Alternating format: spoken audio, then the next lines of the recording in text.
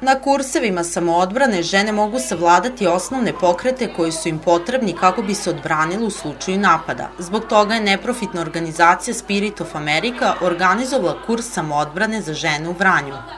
Cilj je da se kroz različite projekte pomogne ljudima i da se uspostave što bolji prijateljski odnos između drugih zemalja i Sjedinjenih američkih država.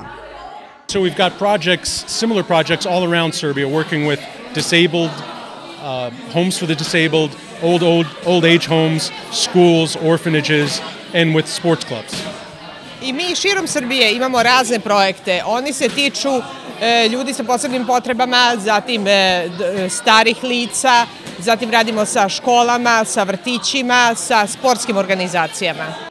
U saradnji sa ambasadom Sjedinjenih američkih država i nacionalnom gardom Ohaja, pripadnice SOS telefona i sigurne kuće iz Vranja naučile su osnovne pokrete samoodbrane.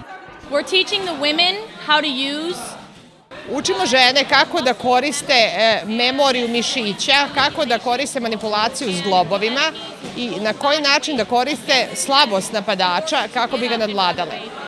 Polaznice kažu da im je ova obuka veoma važna jer mogu da se zaštite od opasnosti.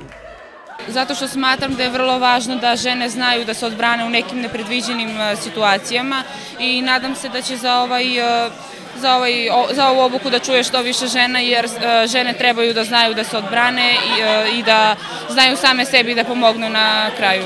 Smatram da je ovo veoma bitna aktivnost, pre svega za nas žene, jer danas, takva je današnjica da nam je to veoma neophodno.